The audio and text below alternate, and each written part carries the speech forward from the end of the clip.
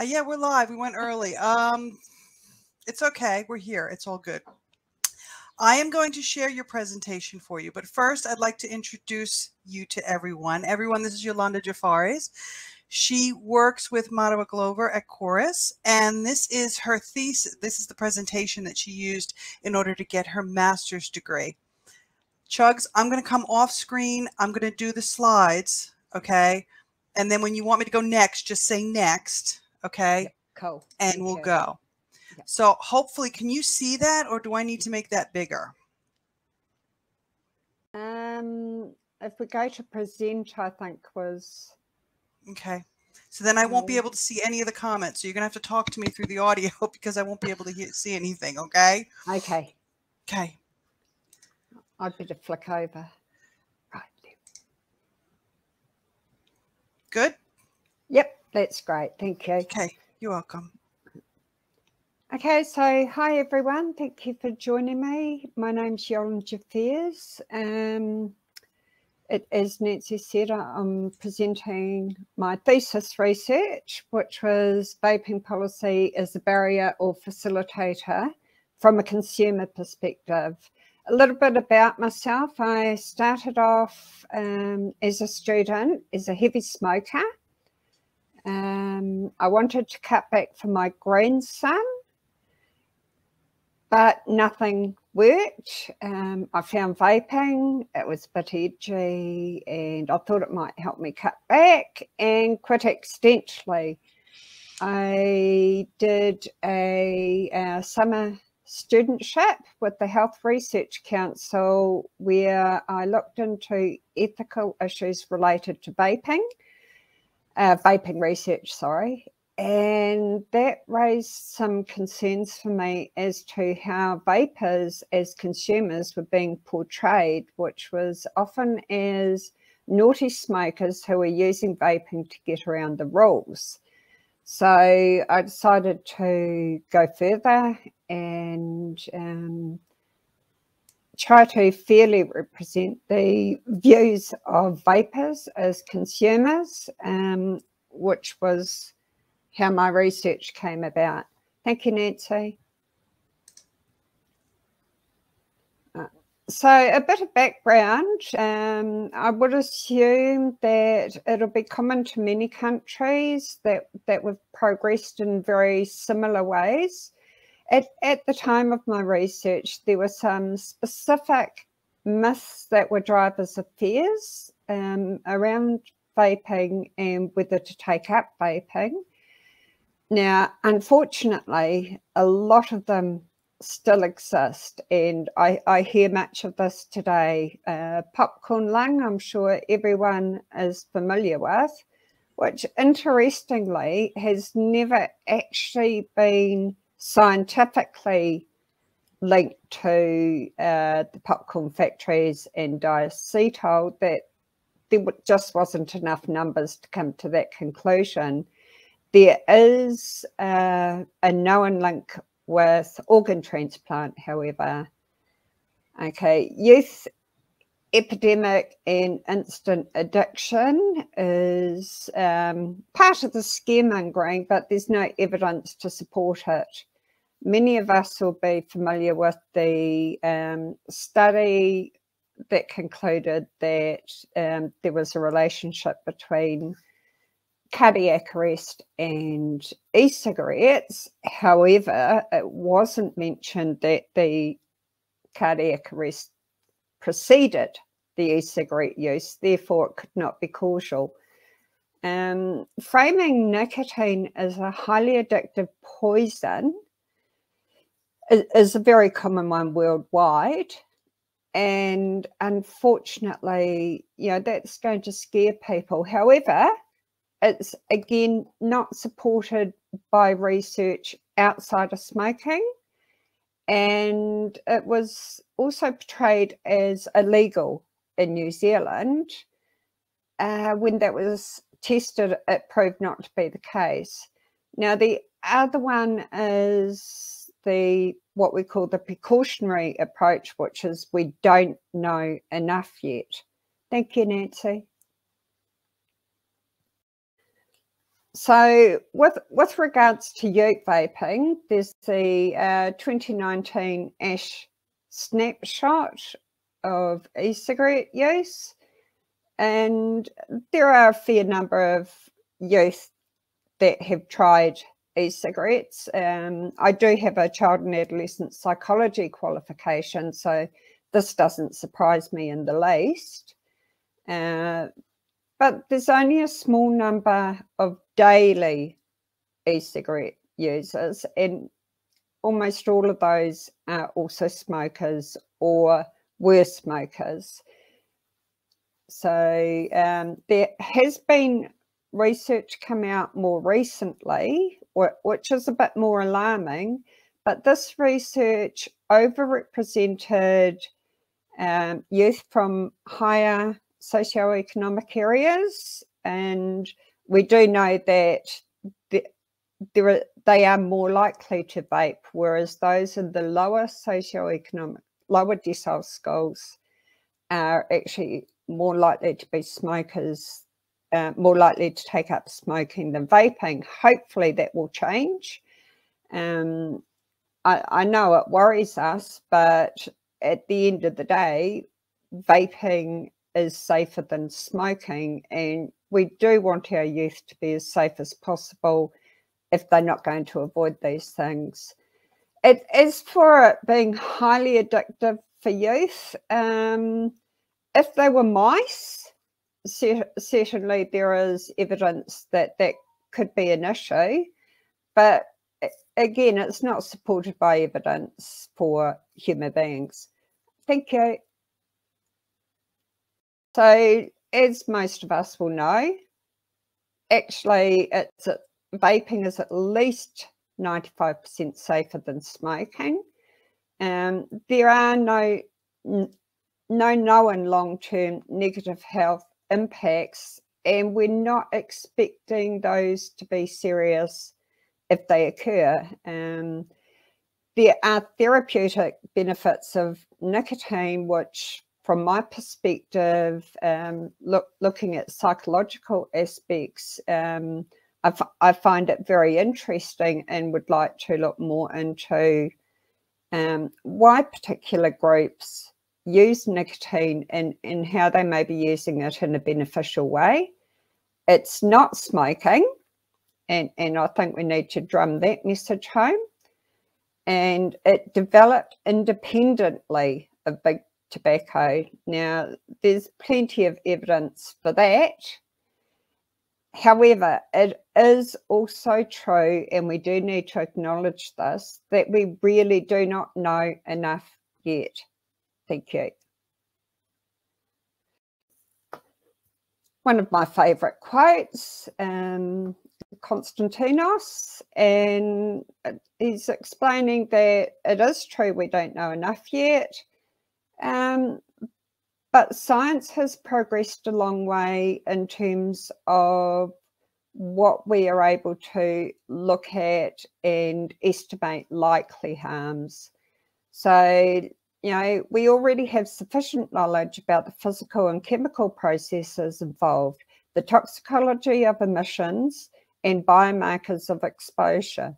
There is no doubt that ENDS are much less harmful than smoking. This has been supported by count, countless leading public health institutions from across the globe. Thank you.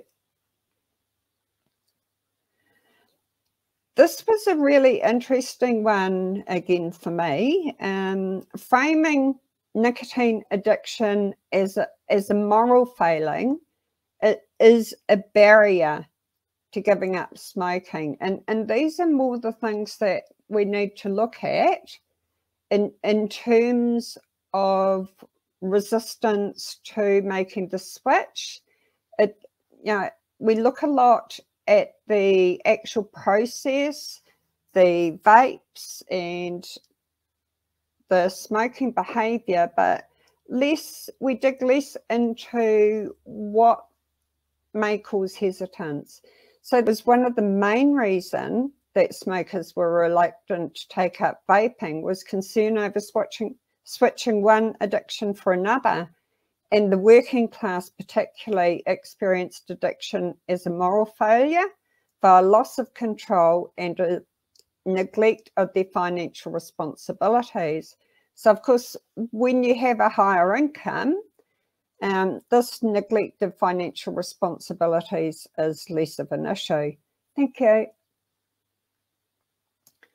Now, as was mentioned last night, for those who caught Dr. Glover's um, session, we had the Smoke Free Environments Act tested. This goes back to the belief that it was illegal in New Zealand to vape for quite some time. So we operated in what we called the grey market. Um, the Ministry of Health took uh, PMI to court and the judge ruled that actually it wasn't illegal at all. And given this this advice, it can be said that the use of heats, while it may have risks in itself, is not as harmful or potentially harmful as ordinary cigarette use. So what he's saying is it actually already fitted in to the purposes of our Smoke Free Environments Act and, and therefore trying to constrain it would go against the Act. Thank you. So the government response was to seek to constrain moral panic and a very, very strong focus on saving the children. I'm not sure how a lot of this stuff will save the children or is meant to, um, but there you go. So we need to save youth and non-smokers from imagined potential harms, remembering that there, there's been no established um, long-term harms from vaping. They ban, banned vaping wherever smoking was banned, which seems very counterproductive. Uh, Professor Beaglehole was um, very clear that we need to privilege vaping over smoking, but this seems to have fallen on deaf ears. Flavours perceived to be attractive to youth have now been restricted. So you cannot buy anything but mint, menthol, and tobacco flavour in dairies, supermarkets, um, petrol stations, and the like. They ha- you have to go to a specialist vape store, and you may or may not have access to one. So there are also now fines for vaping in cars where minors are present, which is a bit odd since they state that there's no bystander effect. So uh, there's no real justification for the fine. Um, physical accessibility constraints, if you're in a rural area um, and, and you don't happen to have a credit card or internet capable card, then you're stuck with the tobacco, at least you can grow that at home. Obstruction of consumer advocacy in a gag order. Now, Nancy might like to jump in on this one.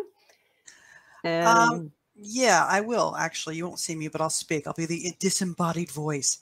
Um, when the new Smoke Free Environments Act came into effect, it basically prevented um, AVCA from being able to do any of the community work that we used to do. For example, we had a Vape It Forward program, as, as Chugga knows.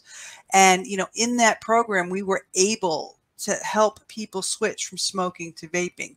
We can no longer do that because now any community work has to be done either under the supervision of a, what was it, a government approved smoking cessation provider and or must follow government approved protocol. So basically what they did is they outlawed community vapers helping vapers.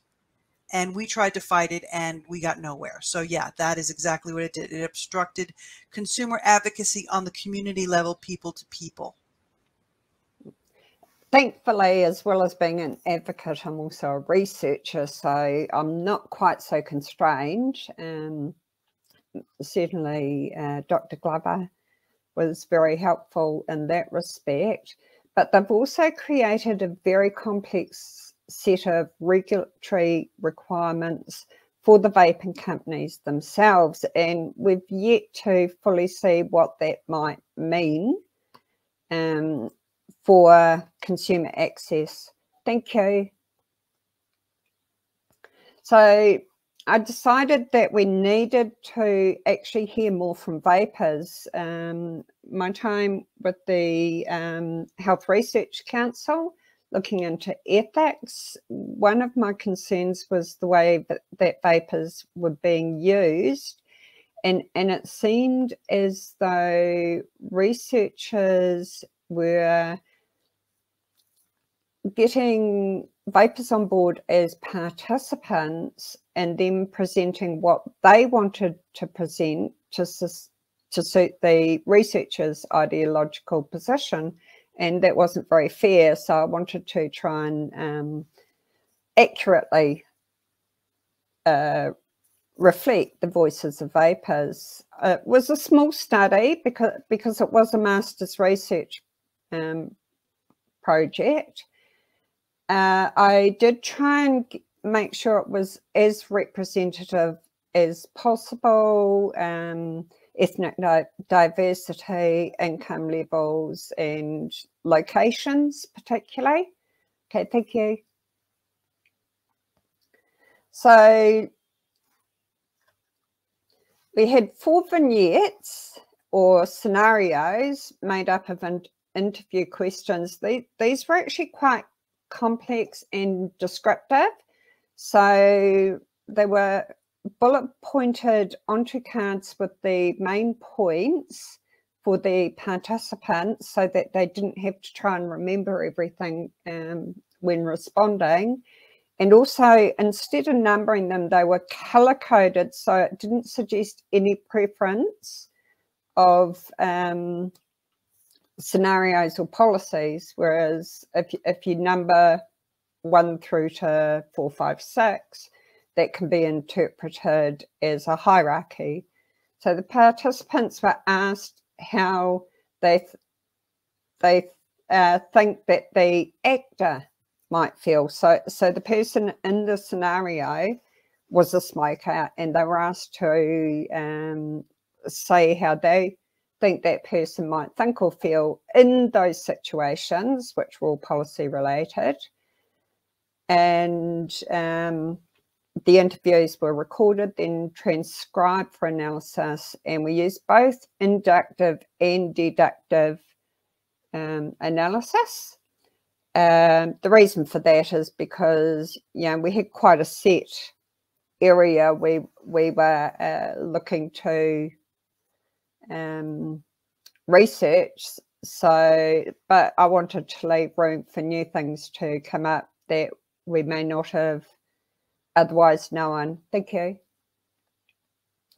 So the policy variables, it was a continuum of um, advice from medical professionals, information obtained by media, how that was regulated, access to vaping equipment and supplies, how that was regulated, cost considerations, and in some cases, there were legal repercussions. One of the scenarios was actually based on uh, Queensland. So there were some pretty strong legal uh, repercussions in that case. Thank you. Findings. Now, this is what we found was that policy that affirms vaping as a much safer alternative to smoking acts as a behavioural change motivator. So this facilitates uh, the change from smoking to vaping. Policy that casts vaping in a negative light acts as a barrier to behavioural change away from smoking and towards vaping. Now, both those we'd fully expect.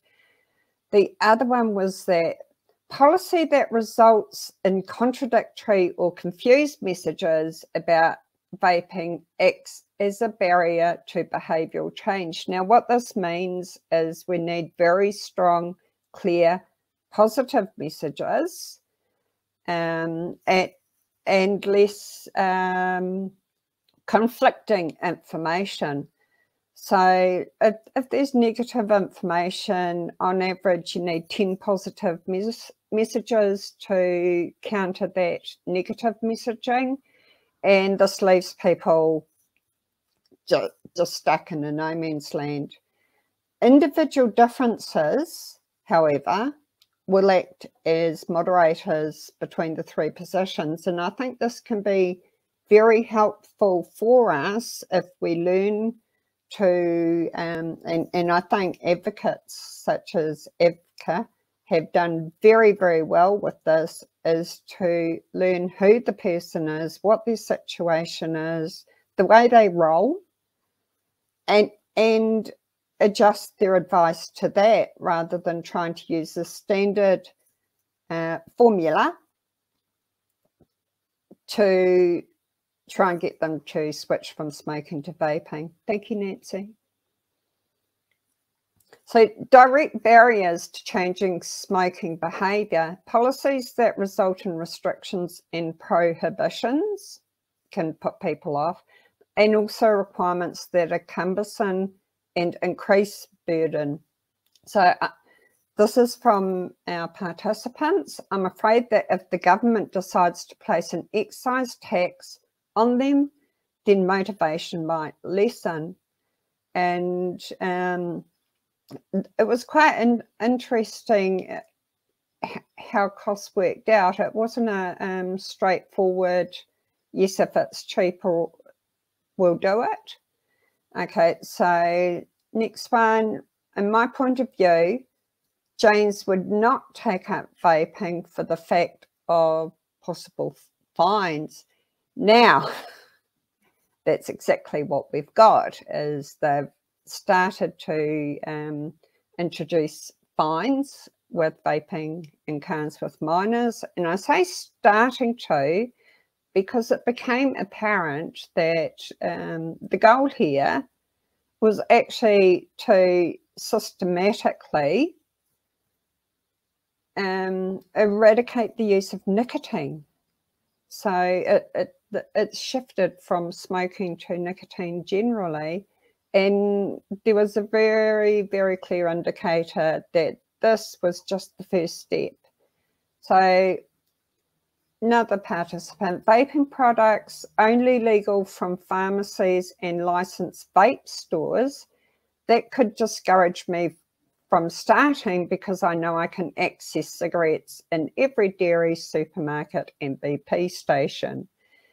And unfortunately, we very near, nearly have that scenario because there's only three flavours that you're able to get in the places where you buy the cigarettes, and that's mint, menthol, and tobacco.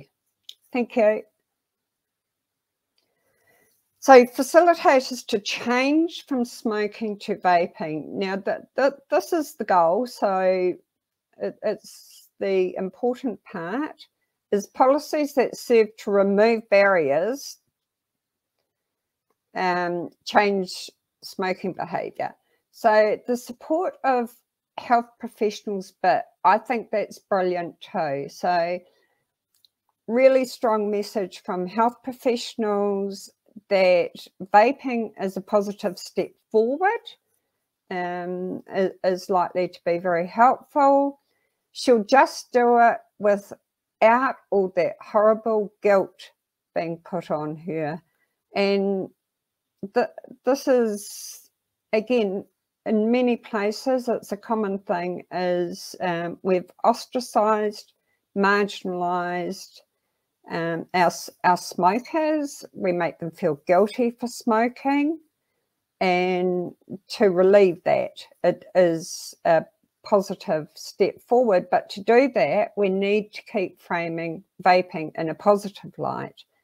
Um, if the products are readily available including dairies, I would probably say that Nigel would probably go for it and see if he likes it. We didn't end up with a lot in the dairies, unfortunately, but maybe we can see a bit of movement there as time goes on. Thank you, Nancy. So inertia. Um, now this this is where people just don't know what to do, so they do nothing. They they continue the behaviour while they wait and see. So there, there's different reasons. Um, sometimes, I mean, I'm very much in the view that sometimes, you know, we get too much choice. So this is when information overload can, can um, be a strong contributor to inertia. And I think we're actually seeing that a lot at the moment with the COVID situation, where, where information accurate or otherwise, is being thrown at people from all directions. And we get people just left sitting there going, I don't know, I'll wait. So again, I feel like old Paula won't know what to do. And, but again, you know, people are saying, look, don't do it. You just don't know which direction you've been told is the right direction. And this was a problem, particularly when we had a free for all situation.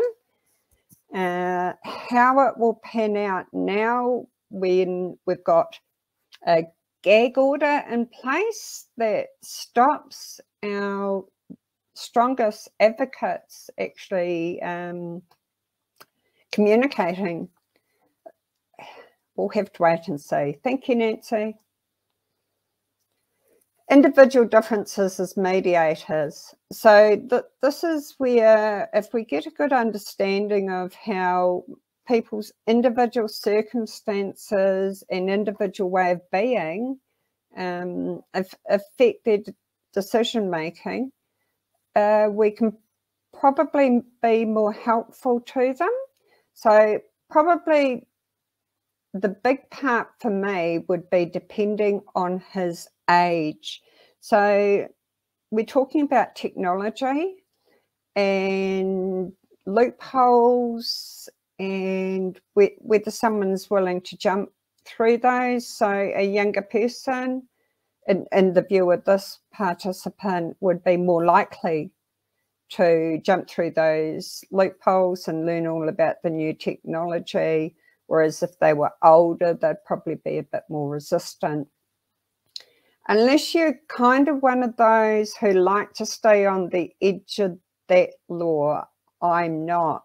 So when we put laws in place, it doesn't necessarily mean that people will stop um, their course of action in order to remain within the law.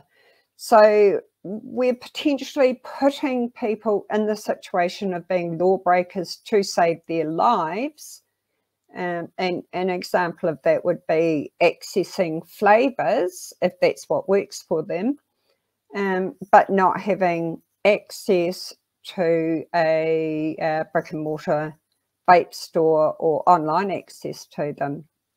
So the next one, and and maybe she just won't. Oh no, sorry, Beck. And and maybe she won't have the ability or capacity to find that information. Now again this is a problem with information overload and a lot of conflicting information. Some people will be able to sift through that and analyze the data and draw objective conclusions but not everyone can and I have no doubt, unless Mandy absolutely loves smoking, she would definitely start vaping with this kind of environment behind her or she's in. Now, this was a um, pro vaping environment, but the difference here was that Mandy might actually love smoking, in, in which case the environment won't matter. And there are people that just smoke because they enjoy it. Thank you. so, well, I thought I'd do a comparison between um, government and consumer responses, which I, I thought was really interesting given that vapers had actually been framed as these radicals who were breaking all the rules and just naughty smokers. Now, the government's response to the situation was to state that we support vaping in keeping with the scientific evidence. However, in action, they have not made that clear. Um, they've included it in the Smoke Free Environments Act and done so in a way that treats it like smoking. In some instances, there's actually more regulation and more restriction on vaping than there is on smoking. So there's bans, penalties, health warnings, and um, no information whatsoever about potential therapeutic benefits. So oh, of nicotine, sorry, not not of the vaping itself. And vapers as consumers, what I found was that they actually were very pragmatic, very realistic, and very sensible. So sure on board with age restrictions and accurate health information. Now, they're also on board with basic safety measures to regulate what we're getting in our e liquids and um, the safe devices. And mixed messages, their, their message was that mixed messages and punitive approaches are likely to act as barriers to changing smoking behaviour. Thank you. So here we have our long list of references, um, which will be online. Thank you, Nancy. And I'd particularly like to thank Dr. Penelope Truman from Massey University, who was my supervisor, the wonderful Marewa Glover from the Centre of Research Excellence, Indigenous Sovereignty and Smoking, and Knowledge Action Change, or KAC. Now, I, I do work for the centre now, and Knowledge Action Change, uh, both funded from uh, the Foundation for the Smoke Free World. However, I've, I've never um, obtained any funding from tobacco or vaping companies, and, and those are my only um, funding sources. Thank you. Right. Any questions? I'm back. Okay. Anyone know of any studies that state how much e-liquid a vaper goes through using an open system? Did you run into any of that? I I found lots of gaps. Um, I don't think there was any average. I yeah. didn't. Uh, I think because you know open systems it depends on whether you're a mouth to lung vaper or you're a direct to you know lung vaper. I mean a direct to lung is going to go through a lot more e-liquid than a mouth to lung. Um, same with nicotine, the different yeah. levels of nicotine. It's kind of difficult to suss it, I think. And I think there's a problem with averages there when, when you're um, dealing with a very diverse population.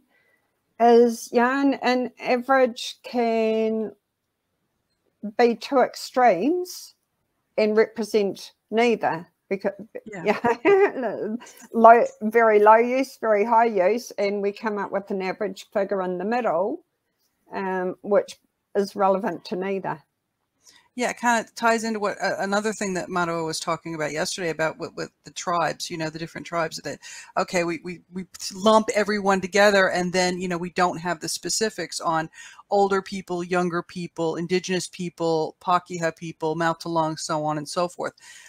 I mean, that's some, that would be something that would be really interesting to see. Although with the WHO telling people, you know, telling countries and signatories to ban open tanks. Um, interesting. It, everybody it doesn't make sense to me.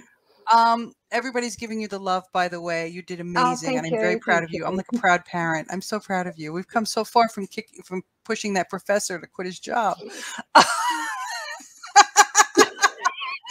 a long story. we don't talk about that anymore. um, let me ask you something though. In in your study, when you were doing this, I'm going Yeah. to guess that the nic salts weren't really prevalent or weren't really around much. Did you find anything with regards to the differences between freebase nicotine and nic- nicotine salts? The nicotine salts were around. Um, I may have actually been using nicotine salts myself by then because yeah, because because I like Yeah. to test things.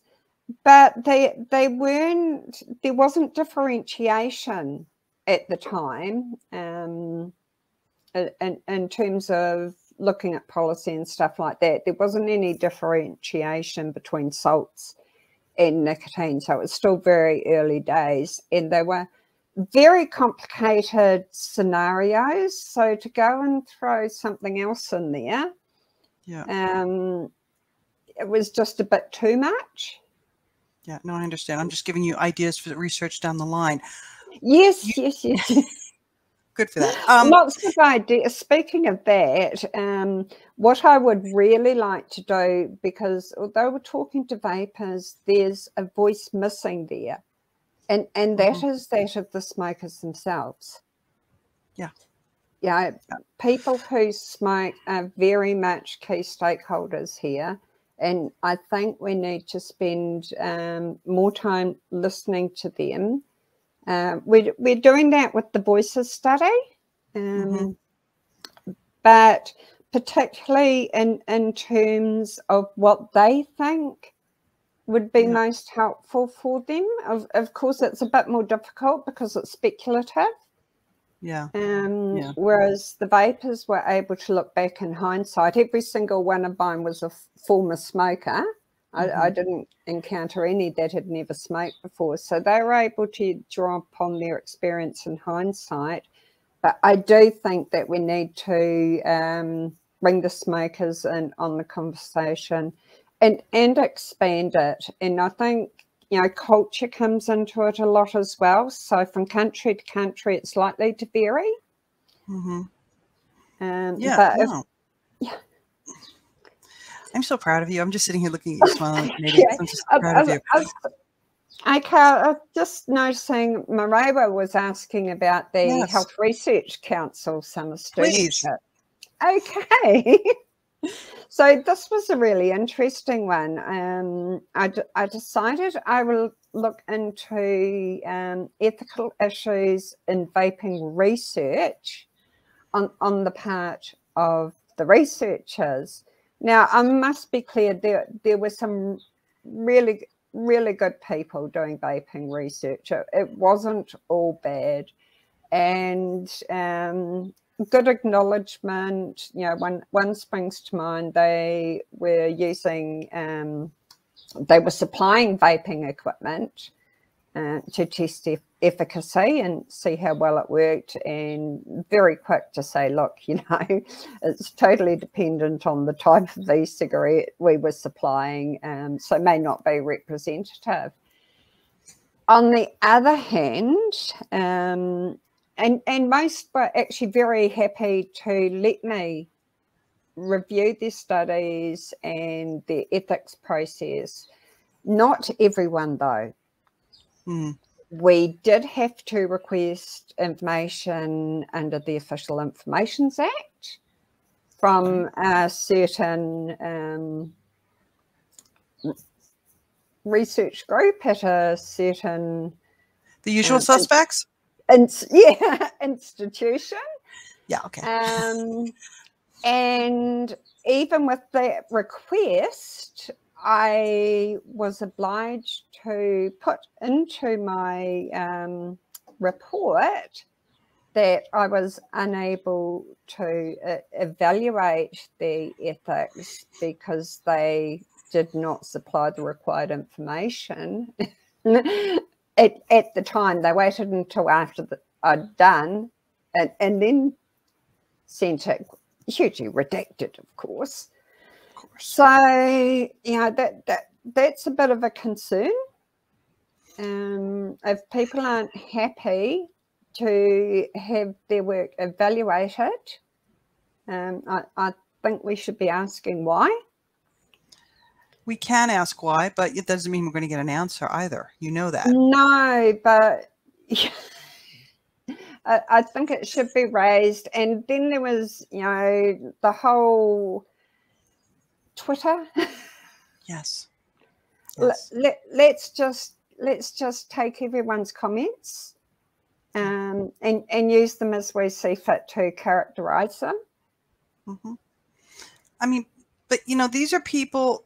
I feel bad we're talking. It's like me calling you know who Voldemort. It's like we got to come up with a name for them too. Um, it, when you were talking about people, you know, there's this, this theme that's been running for the past couple of months is meeting people where they are. And that relates to vapers and that relates to smokers. And that also relates to research, you would think. You know, um, Roberto was talking somewhat of it this morning. Um, there's a certain ethical and, and you have to, you know, argue your case like you had to argue for your, your master's, right? You have to defend your thesis. It seems that there are certain factions within the tobacco or public health, tobacco control, let's just say, that feel that they're above and beyond that and they don't need to do that. And somehow they're getting away with it.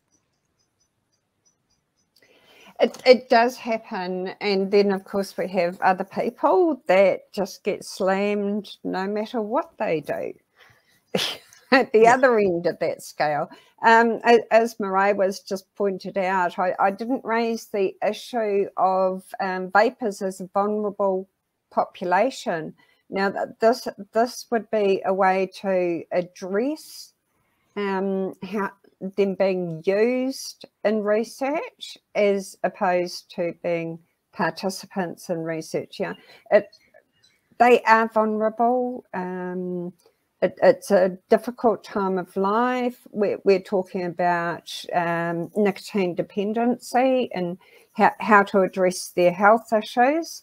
So, in, in ethics, we have different rules for vulnerable populations, and we have to take greater care. And mm-hmm. and certainly, if if we class vapers as a vulnerable population and smokers too, people mm-hmm. who smoke, um, that would go a long way towards uh, addressing. It, it, won't fix it because some people are going to do what they're going to do. Mm-hmm. Um, but it certainly could help the way they're treated. Yeah, I agree. I mean, it's a shame that we actually have to classify people as vulnerable because oh, they don't get I, equal treatment. But you know, we could go on for days on that. So we're not going yeah. there right now. No. Um, we've got people commenting. I know. Can you see the comments? Um, people are commenting about how much they use. Um, this is a good comment from Mark. I know many smokers that won't try vape because TVNZ bad reports of vapers getting popcorn lung and how e-cigs are worse than regular cigarettes, and it's sad. I wonder. I don't know if you've if you've approached this or analyzed this. I wonder why the government, which allegedly is supportive of vaping, is allowing all of this in the media. Got any ideas on that? Well, think this might go back to um, when I was um, presenting my submission to the House Select Committee, and right before I went on, um, it was it was made very clear that the goal was actually to get rid of all forms of nicotine use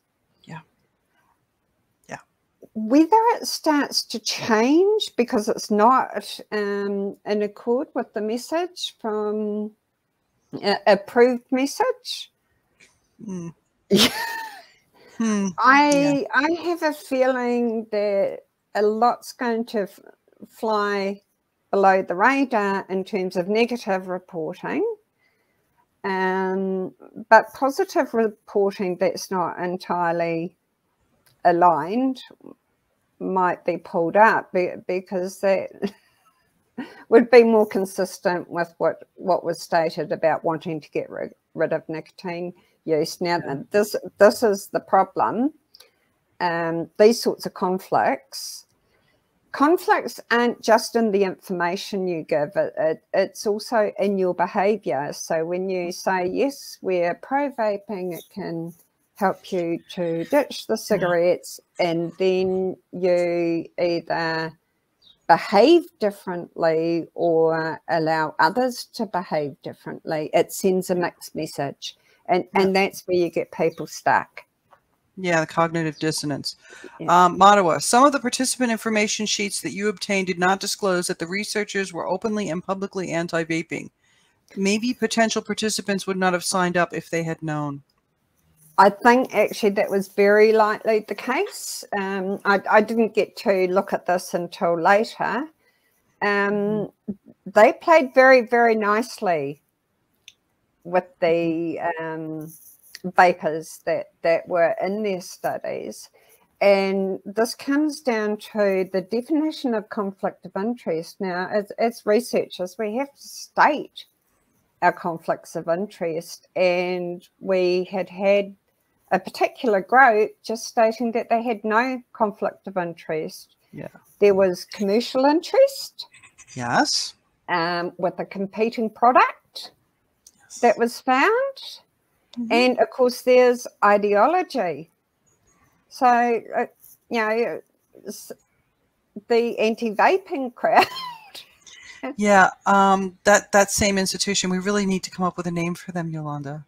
We got to work on that. Um, they when they were doing a lot of their they're, they're seeking to make friends with vapers and um, jan and i went to a public health seminar that they held and you know i'll never forget this that one of the people who initials are re stood up in front of everybody and basically bashed another advocacy group thinking it was jan and i sitting in the audience and thought it was perfectly okay.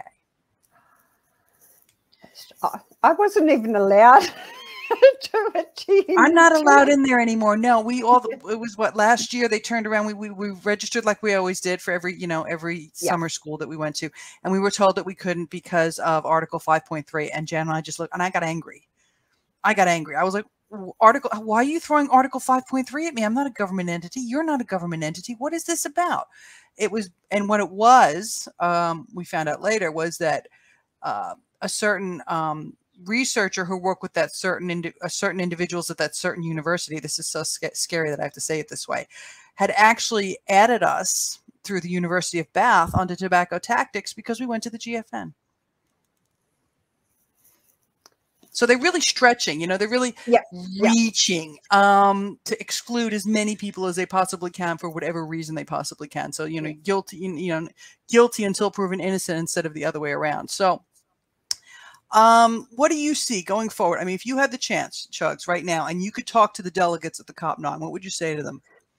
I I would say that actually they need to let key stakeholders in on the conversation, and and they need to learn to listen and understand and take into account um, people who vape and people who smoke um, have a wealth of knowledge and insight to share that could actually help us solve this problem, which should be the objective. Yeah. And just shutting people out it is not going to help. We we need these products. They're working. Okay. Yeah. And yes, we don't know 50 years down the track when I'm 192. Yeah, it might give me an eye twitch. It might. You know, first world problems. Yeah. Um, but what I do know is here and now, we're healthier yeah. because we were able to make that switch from smoking to vaping and and we should be giving every person as a matter of right the the opportunity to do so Great, completely. I mean, it's it, you know we've talked about this a lot in CAPHRA meetings and and here too. You know, it, it's a battle, but it's a long haul. Um, and there's slow, you know, and you get two steps forward, you know, one step forward and two steps back, and one step forward and two steps back. I think we met, like I told this, I said this last night. Marewa just looked at me. She probably thinks I'm nuts, but that's okay. I think we'll get there, but it's going to take a really long time. You know. Um, and I agree with, you know, Marewa here. She's saying, you know, we need more people who vape to be running their own studies or or involved in research products projects as co-investigators and advisor. Yes. And yes, you are very, very lucky to have Chugga on your team. Absolutely, Marewa. I, I, think I'm very lucky to um, be on the team. I, I, I feel um, very privileged. Um, in terms of your optimism, I'm more cynical. I know. Far more cynical would be probably the mm. right term, but that's not the point. The the point to me is there's both a moral and ethical obligation yeah. to continue irrespective of, of whether there's likely to be a positive outcome or not. You know, people's lives are at stake, and we need to try, no matter how hopeless it might look. It's not looking yeah. good at the moment. We've got researchers being shut out. Yeah. Um, we've got advocates being shut out. Yeah, but you know, on the other hand, um, and this is probably where my optimism comes from. I mean, I'm seeing some positive stuff in Asia, yes. and that kind of gives me hope. You know, um, and also what with Mexico with the heated, you know, with the e-cigarette, the lifting of that import. So, like I said, one step forward, two steps back. I, as long as we're getting the one step forward, I can deal with the two steps back. Yeah. Um, I mean, you know, if you had said to me three years ago that you know Malaysia would actually, you know, regulate and legalize, I would have been like, same with the Philippines, right? I mean, in the Philippines yeah. is almost there. Malaysia is pretty much there. Um, you know, it, it's it's it's interesting to see, and I don't know how much of the COP you've been following. Um, you know, the reports that are coming out, and yesterday, you know, the FCA, the Framework Convention Alliance, gave the Philippines the Dirty Ashtray Award because they backed up the UK on harm reduction, tobacco harm reduction. And they refused to agree to the agenda because they, they were told, you know, we're not talking about this. We're not having these, you know, these discussions. You said they deferred until, you know, COP10. So all countries are, are starting to get, you know, feisty, let's put it that way, with oh. it's good. And that's a good thing. That's a good thing, Chugga. Yes, but the dirty ashtray. Yeah, yeah, the dirty ashtray award. We we have the the bugger award at fishing. You know, for, okay. for pe- people that, but it's all in good fun. You you put a dirty. Yeah, that's disgusting. It's also it's bullying. Yes, it, it's and, disgraceful yeah. behavior. It's unprofessional. I agree. Isn't it yeah. funny how they're not held to the same professional standard as everybody else? I know, and and um, I I yeah, I keep racking my brain for how we're going to solve this problem because because this really is the big hurdle is the FT uh, FCTC. FCTC. It's yeah. getting to the it, it it's it's people it's it, and of course it's hard now because it's COVID, but it's the face to face. You know, um, it's being able to humanize it you see a person standing in front of you they may have this idea in their head of you know it's some kind of bogan or some you know fringe person that is a vaper right um, and then they see you know somebody like you or i standing in front of them and like oh wait a minute so it's the humanization of it and it's also i think it's how we represent like when i'm representing myself i don't think about me representing myself i'm representing everybody who does the same that i do eh, all the vapers you know um so what I'm doing is going to reflect upon them. So I think it's it, it's almost like eh, the advocacy has to go through some growing pains to be able to have those discussions with people and and break through those barriers, you know, like the 5.3 that I've been dealing with here in New Zealand, or, you know, just the general, we don't want to know. We're going to give you a dirty ashtray award. It's it's it's just like consistency, stubbornness, um, yeah. Blind determination. Blind determination. Yeah. Um, I'd rather say I would rather people said I was determined than stubborn, but they call me stubborn, that's okay too.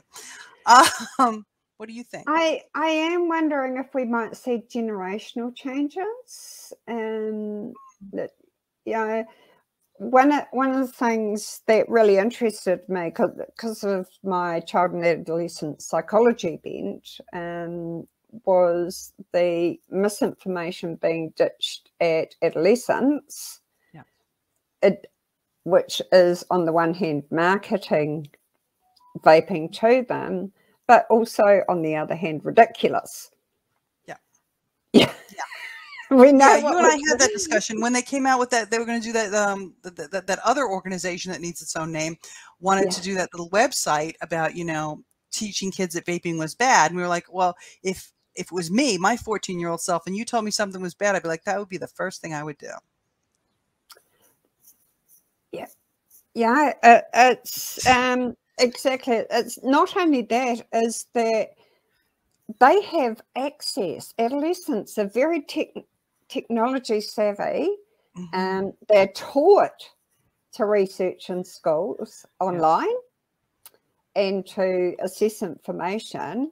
So if the adults are feeding them unbelievable BS, yeah, yeah, um, that is not just more likely to encourage them to vape, especially when you're saying all their friends are doing it. Yeah. Um, it, it's also likely to prompt them to access the facts, uh, more objective facts, not just um, that particular narrative. And we may see that that generation comes through. Mm-hmm. It, and they become the ones that actually make the difference. Well, they're not entrenched in the quit or die. No, no you know i mean and that's what a lot of this is is you know you've got a lot of mid it's let me let me try to formulate this. You've got a lot of mid-career people or people that are just waiting you know to retire right with their pension that are holding on steadfastly to the quit or die. And then you've got the people that have actually their careers are pretty much for the most part over now coming out and admitting that you know what we were we were wrong. You know we you know, the, the 100 people with clive that you know sent the letter to the who so, yeah, but how long? I mean, we're talking 20, 30 years. We may see it before we cork it. I don't know. I'm hoping we do. Well, yeah, there was a really interesting situation with my grandson at school. Um, someone had been vaping in, in the changing rooms after or before PE, I'm not sure which. Um, okay. and, and they do know that I'm an advocate. So yeah, the f- first person whose bag got checked was my grandson's. Um, he didn't he didn't have a babe, but, but yeah. they seemed a bit disappointed. Um, and then the teacher proceeded to lecture the kids about how their lungs are going to shrivel up because of all the oil. So, of course, my grandson felt morally obliged. Of course, he did. He's your grandson. Some misinformation mm-hmm. and point out yeah. that that's actually not true. Mm-hmm. Um, yeah, my advice to him is, is I, I don't have a major issue with you vaping. Um, I, mm. I, I think it's better than the smoking. But my advice to my grandson was, um, you know, one, it's against the school rules to have a vape, so that's mm-hmm. that. But also, um, when you initiate something, there's the potential to become dependent. It can affect your mood and concentration at school if you don't have it. So, yeah. if you're going to vape, it'd be really mm-hmm. cool to have no nicotine. Um, but I give them all the information because I do not want to be in a position where I've betrayed his trust. Hmm. Yeah, um, no, I understand that. You know, I mean, I dealt with it too when I was still living in Masterton, and um, there were kids vaping at, at the school, at the college, you know, and my daughters, you know, because they live with me, and you know, like Christian, um, they have no problem speaking their mind and telling the truth. Yeah. You know, it, it's it, it, the culture of fear, you know, let's instill fear in the kids to keep them in line. It doesn't work with these kids. So you're better off just telling them the truth. And, and you know, they I would rather and I'm like you. I mean, I don't condone underage vaping as underage vaping, but by the same yeah. token, like you, the kids that are vaping for the most part would be the kids that would be smoking. So if I, I have to look at harm, you know, and I think we need to look at more why the kid, those kids are vaping and smoking. Um, and from um, to understand it, we, we tend not to take the time to understand the phenomena. We we go in with a judgment, and you know, there's a lot of research around neurodiversity, and Yes. in, in particular, the kids are most likely to be smoking early and gravitate towards it are, are kids who go on to be diagnosed with ADHD. Now, you know, th- there's research showing that nicotine has beneficial impacts for Mhm. adults. We haven't, uh, to my knowledge, we haven't studied children, but adults with ADHD, it, it helps Mhm. manage their system. So we may actually be seeing um, a, a form of self-awareness Mhm. that that we're just so hell bent on it's wrong that we're not taking the time to understand and see what's going on because you know understanding can help us provide a safer way to achieve the same Mhm. Yeah, no, I So- agree. I yeah. yeah. I mean, you know, there was a discussion, um, and I think Patrick on Son of Liberty is talking about this today, neurodiversity and nicotine. We kind of got into it a little bit last night when we were talking about using it to self-medicate. Um, I know I do. I know most advocates, you know, that I know that I'm friends with, they would tell you the very same thing. And I also know, yeah, hello. And I also know that a lot of us women are walking around undiagnosed ADHD and ADD. and dyslexia too is another dyslexia. one um and yeah like i don't like these terms I don't either. I don't like labels, but I mean, I- you know, it, yeah, yeah, it, it, we- there was a time when being left-handed was considered a disability. Yeah, and, I know. Until we learned to let them use their left hand. yeah. Right? I'm. I was one of those kids that my first grade teacher was an ex nun, and I started writing with my left hand, and, and she whacked me with a ruler, and I used my right hand for stuff. I mean, I still use my left hand for some stuff, but yeah, I was one of the kids that went through that. So yeah, I understand. So um, that that's all that cognition stuff fascinates me, and and we don't think of the consequences. You know, the whole brain's geared up. If you're left-handed, the whole brain's geared up for you to be different. So when you take that and you mess with it and force them to try and be a right-handed person, there's all sorts of unseen negative impacts of that. So Agreed. what they were saying is, look, that you know, um, all these left-handed people, um, they're likely to be criminals. You know, they're poor learners. So it, it's it's a sign that there's something wrong with them. And instead of looking at the fact that it was how we were treating them that caused the outward expressions that they were using to characterize them as broken. And and I think it's very much the same with the likes what we're calling ADHD, which I call stress uh, otherwise not specified. because Yeah, because we're more sensitive to things, so it creates a much. We're we're, we're, living on cortisol. Yeah, Yep. because we don't Yep. fit in. Kind of like out of Um, sync, slightly out of sync. uh, dyslexia, which I call being visual spatial. Mhm. Yeah. Yeah, yeah, yeah. No, it's And- it's it's it's, it's interesting.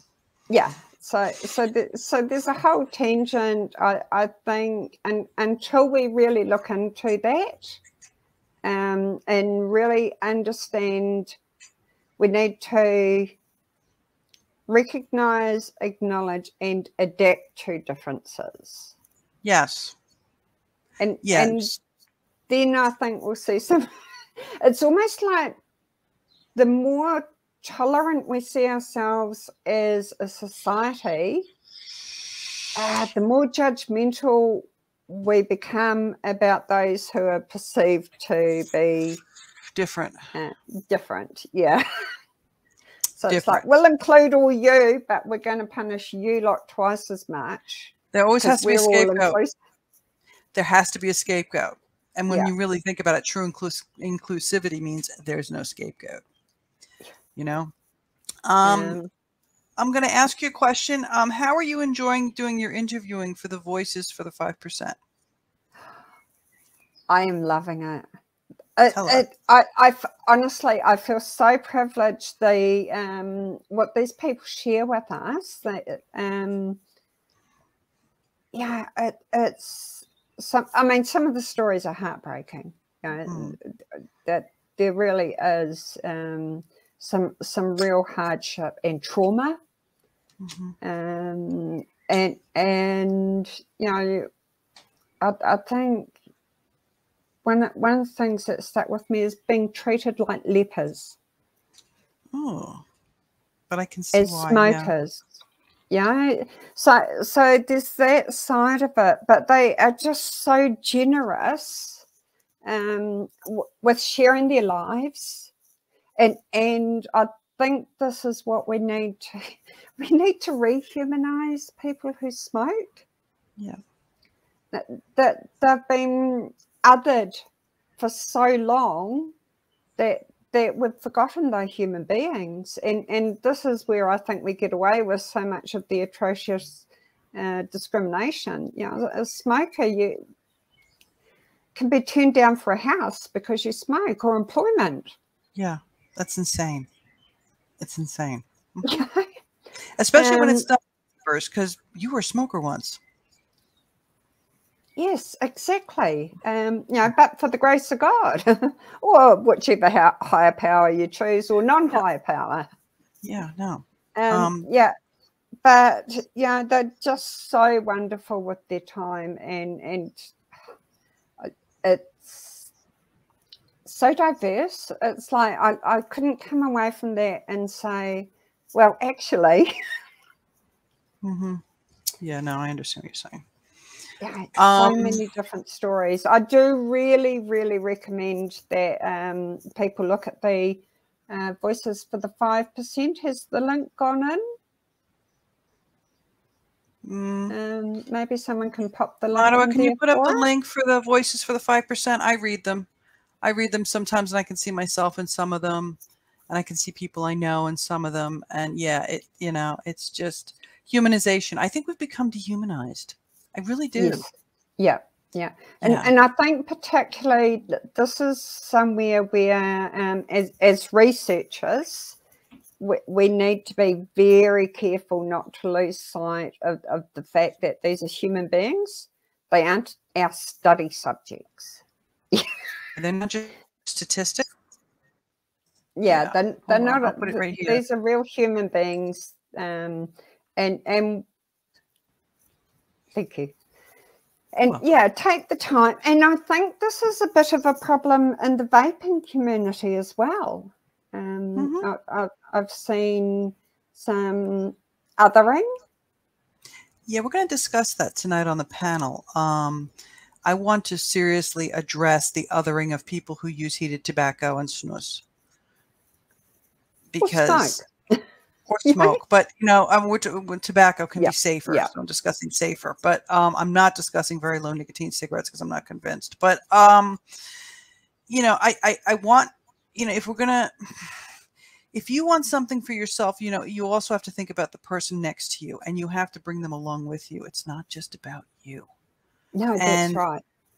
You know, in Northern Asia, heated tobacco is the go I may not like it. I may not want it, but that isn't giving me the right to turn around and tell them they can't have it. If it works and they're not smoking and they don't want to smoke, then that's a great thing. And harm reduction so, yeah. is harm reduction. exactly. Yes. Um, so yeah. Othering is a problem. Um, I also think one of the problems we're having, and, and this is a personal observation rather mm-hmm. than a professional one, is commercial interests um, that that are a, another form of um, conflict of interest taking over what was once a very people orientated industry. Well, it was a fledgling industry, it was a barely an industry, but it was all about the people. Yeah, I've had that discussion here with um, the resident uh, juice maker and video editor. And, um, you know, yeah, it's, it used to be a community. It used to be people would help each other. It used to be, and then the money got involved and it became so commercialized and it became so, it, it they lost track of what they got into it for. Yeah. And isn't that funny and what the common denominator is, Chaga? Yeah. Um, particular one that's really got my attention is the quite a few companies refusing to sell anything higher than six milligram nicotine. Yeah, I don't get that. I, you know, if you're on a mouth to lung kit, um, competitive. Thanks, Motto. Neither one of us could find the word, but Motto gave us the word. It's competitive. Thank you. Um, choice. It's all about choice. You know that. I've had this, you know, I've been ranting about this for what, four years now, five years. People need choice because everybody's different. And the limiting of things is not going to help. No, it's not. Well, yeah, if, if a company's not prepared to sell higher than six milligram, my first thing would be to say maybe you should consider whether that company doesn't have people's best interests at heart. Um, that will get you going back for a lot more juice. Sorry, e-liquid. It depends. I mean, you know, what I'm seeing is a lot of people are going to Nic salts. Um, there's not that many people doing freebase anymore. I mean, I'm one of the last album I, that I know of that, you know, I'm using an open tank system with freebase. A lot of people here are now on Nic salts and pods. Um, I would, I'm worried that we're going to wind up with a Nic salt industry, a Nic salt market, and then I'm screwed because I can't use Nic salts. See, and that's the flip side of this, you know, right. yeah. limiting choice is never a good thing ever. Yeah. Um, all right. Well, you know what? We did it. You did it. we are all really proud of you. Um, and I didn't um, say one rude word. no, you didn't. I mean, hello. I think we finally grew up. Um, uh, thank you, Chaga. Yeah, it's just when you get so stressed. Thank you. Thanks everybody for joining us, and you, I will everyone. talk to you. And we've got a panel on tonight, haven't we? Yes, we do. It's the ladies' panel. It's the estrogen panel. It's all girls. so yeah. I'll be in. in the audience. Yay! all right, guys. I'll see you. Thank you.